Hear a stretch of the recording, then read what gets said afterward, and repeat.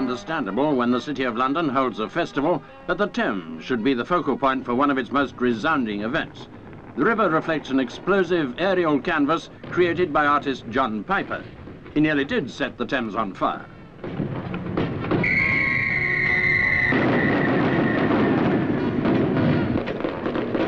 Three thousand pounds worth of flash, bang, wallop. In the time you're watching these pictures, the night sky has blossomed with over 200 pounds worth.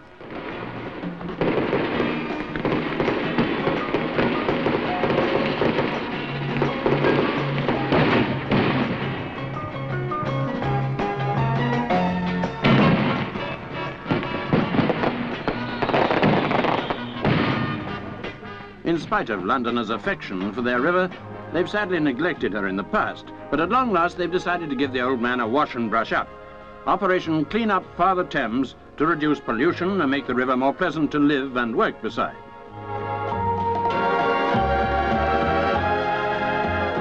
In spite of the inevitable flotsam and jetsam, the clean-up has already paid off.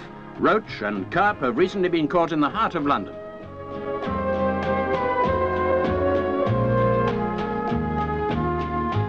In the past, town dwellers have tended to neglect their rivers and canals, distrusting them as dirty and unhygienic.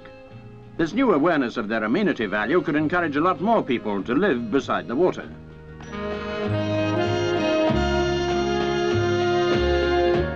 The Thames will always be a natural link with our seagoing heritage.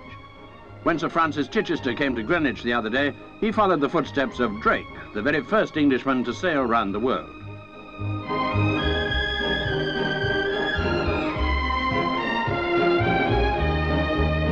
Now, this 20th century Sir Francis was to inaugurate the first public showing of Gipsy Moth 4.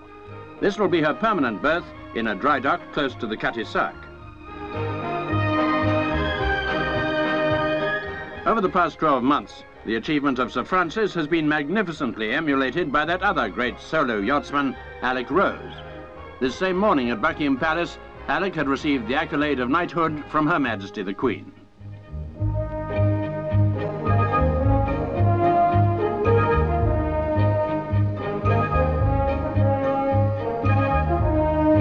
We like to think of ourselves as a nation of seafarers, although we've been called a nation of shopkeepers too. Now these two national qualities are triumphantly combined by this greengrocer sailor from Southsea.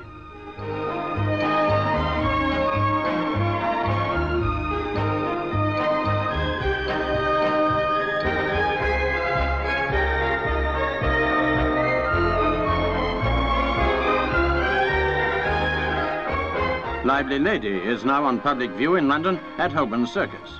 Sir Alec and Lady Rose were there to welcome the first of many thousands of visitors who'll be able to see his much-travelled yawl at close quarters. The Hull tells its own story of those 28,000 miles.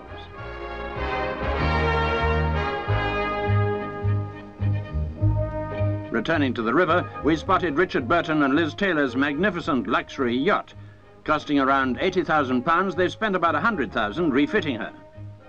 Of course, a river like the Thames plays many parts, not least in providing us with a playground. We went upriver to enjoy the scenery, a fashion show of some of the latest in swimsuits.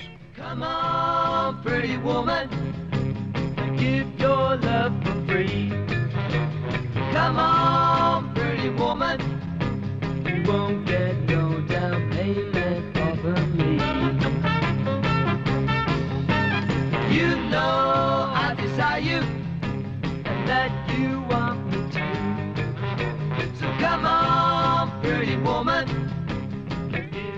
of the fabrics are made by man, but with woman in mind.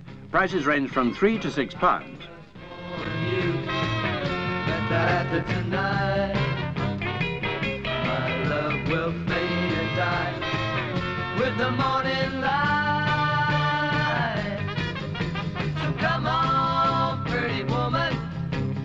just live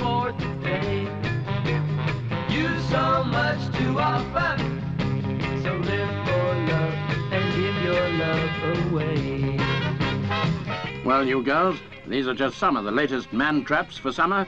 It's up to you to make sure he can afford to keep up with your style. So live for love and give your love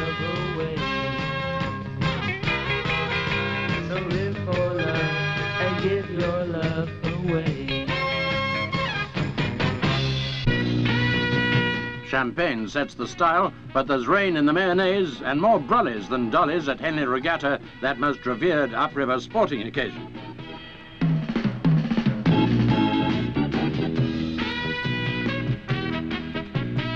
Still, if you belong to a nation of seafarers, you just can't let a drop of rain put you off.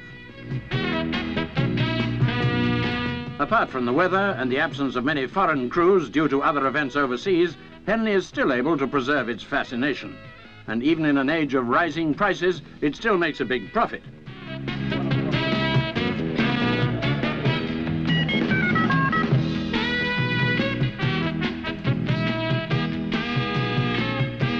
Coxes wired for sound, electronics to contrast with Edwardian Henley.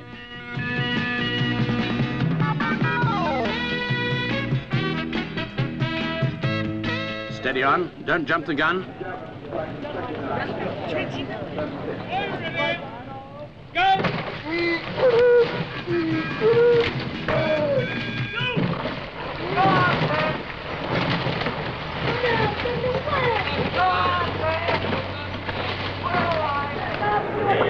Winning their heat in the Wyfold Challenge Cup, the Thames tradesmen finished the distance 12 seconds faster than any other four of the day.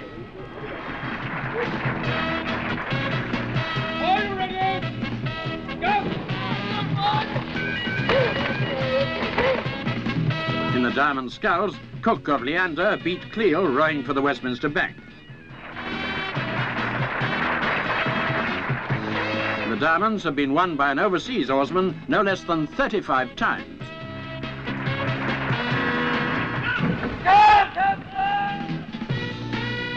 A Dutch rowing club, Nereus from Amsterdam, now facing St Mary's Hospital in an eight event. Although it's called the Ladies' Plate, it's rowed by men.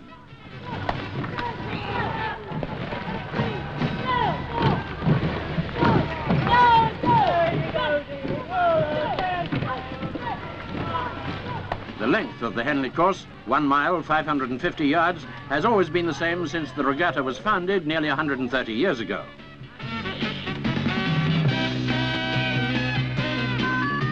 Victory for the Dutchman by three lengths.